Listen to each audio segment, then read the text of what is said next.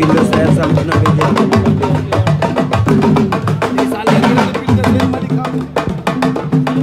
Wow,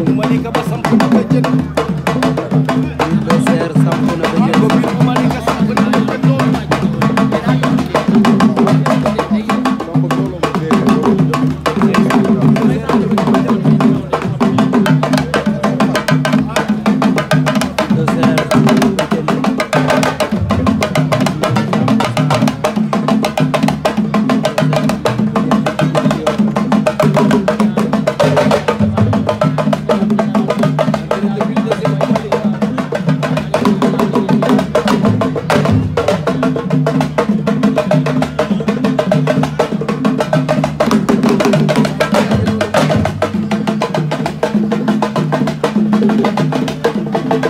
Thank you.